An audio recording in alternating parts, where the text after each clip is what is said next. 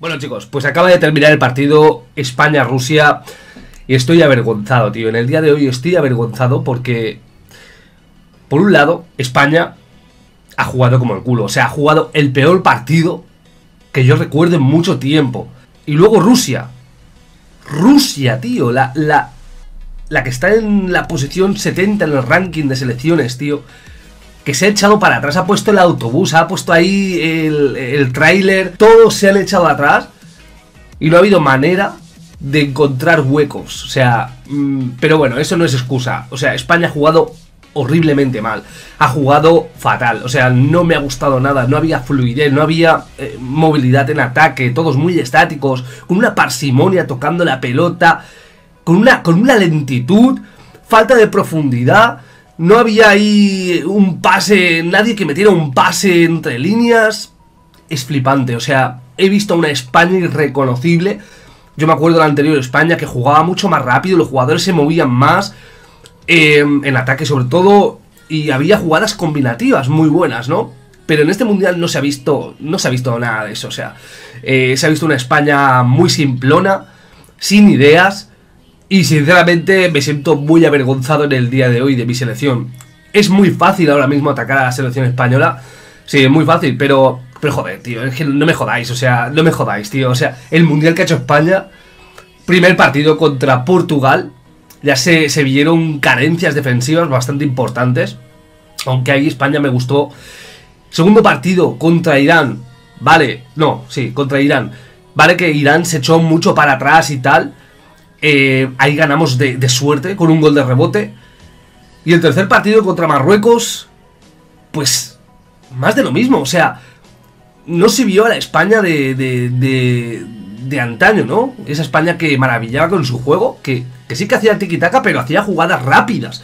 La rapidez es algo, es algo que, que, le ha faltado a esta selección, ¿no? La rapidez. Pero no ha habido, no ha habido ningún tipo de, de movilidad, no ha habido no ha habido ningún tipo de reacción. No sé, chicos, la defensa desde que ha empezado el Mundial se le ha visto súper insegura, con fallos de concentración. Recuerdo el gol de Marruecos.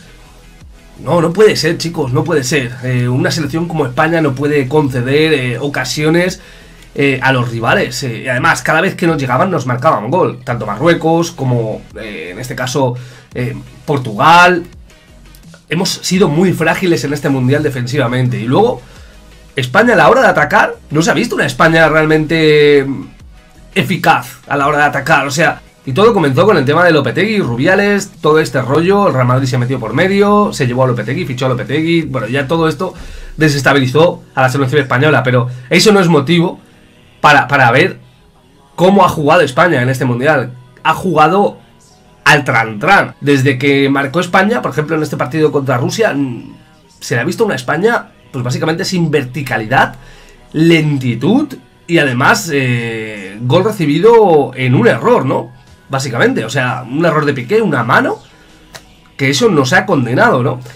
Isco y, y, no mucho más. Isco es el único que se puede salvar porque la verdad es que ha hecho auténticos partidazos. Lo he dicho, mucho tiki-taka y todo lo que tú quieras mucho pase horizontal, cambio de, juego y tal y cual, mucha posesión, que al final ellos llegan dos veces y te empatan el partido. Con dos veces, no le hace falta nada a los rivales para, para, para un gol, claro que no. Y luego pues las dudas de De Gea también ha sido otro factor negativo.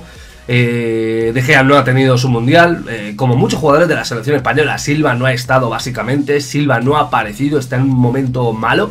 Y no sé por qué el seleccionador ha decidido apostar por Silva, cuando Silva es un pedazo de jugador, pero Silva no ha estado en este mundial, está en un momento bajo eh, de su carrera. Silva no ha estado. Diego Costa sí, sí que ha aportado lo suyo, ha trabajado mucho, uno de los que se podrían salvar.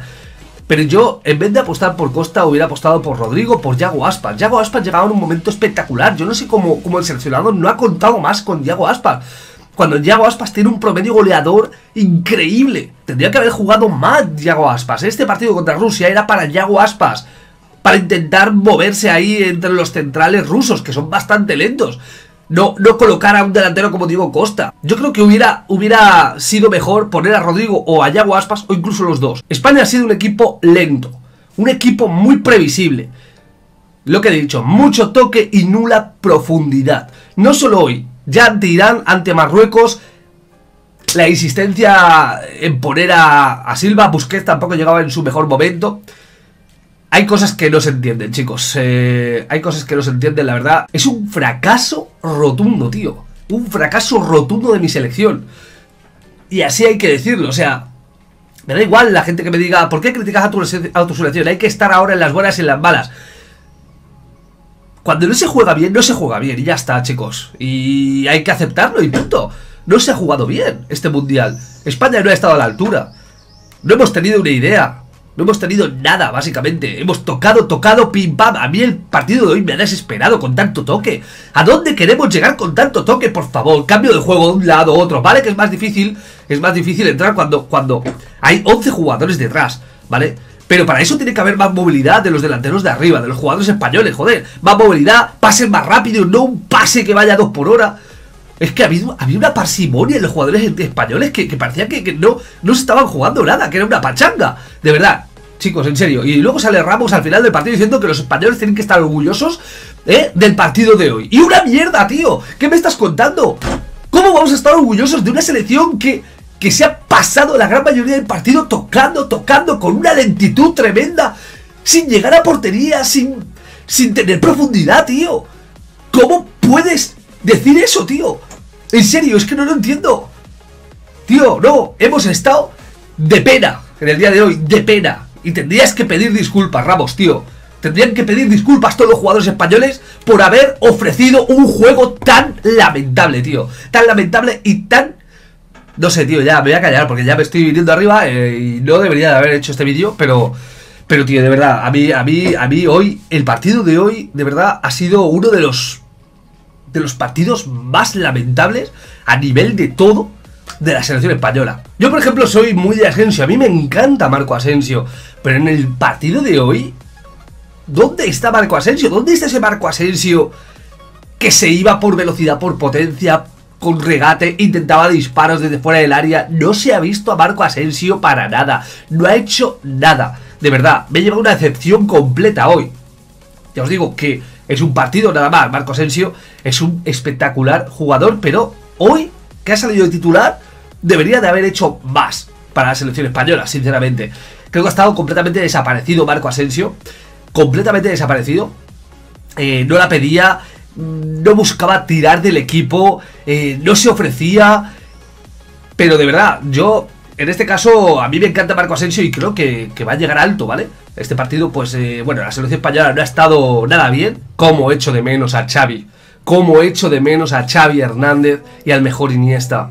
Creo que esos dos jugadores fueron clave para la consecución de la Eurocopa 2008, el Mundial 2010 y la Eurocopa 2012. Ahora hay que valorar mucho más, si cabe, a Xavi Hernández y a Andrés Iniesta. Dos jugadores de leyenda de época que, que en el día de hoy los hemos echado muchísimo en falta. El mejor Iniesta y a un Xavi Hernández en el centro del campo.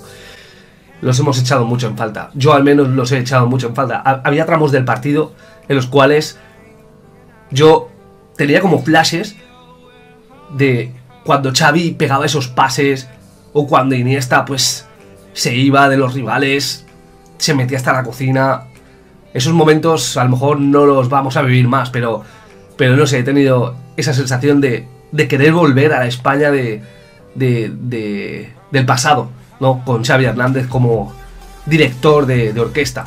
Un fracaso de mundial, sin fútbol, sin ideas, sin recursos.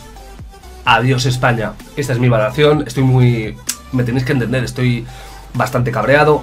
Estoy bastante molesto. Mm, con el juego de mi selección. No me ha transmitido nada, no había nada que, me ilusionara. Desde el principio del Mundial yo noté algo ya que, algo no funcionaba en el juego. ¿Vale? Mucha inseguridad, sobre todo en defensa, muchas cosas que, han servido para que, para que España esté fuera. O sea, es que merecemos estar fuera y ya está. Mucha suerte a las demás selecciones, las que quedan. Pero ya como que voy a desconectar un poquito del Mundial, chicos. Eh, estoy bastante cabizbajo. Y bueno, pues eh, no sé, dejadme en los comentarios a ver vosotros qué pensáis. No seáis muy duros, ¿vale? Eh, conmigo, porque la verdad es que, bueno, eh, he dicho lo que sentía y ya está. Quizá no es recomendable hacer este vídeo después del partido, pero, pero bueno, lo tenía que hacer para desahogarme, ya está. Mañana será otro día y ya se me olvidará, chicos, yo creo. O bueno, yo creo que pasarán días. Así que... Disculpadme si algo que he dicho os ha sentado mal o, me habéis visto fuera de sí en algún momento, lo siento un montón, de verdad chicos. Mm, y no sé qué más deciros, lo siento un montón, ¿vale? Eh, nada, eh, lo dicho, este vídeo lo voy a subir ahora. Así que nada, un saludo. Chao amigos.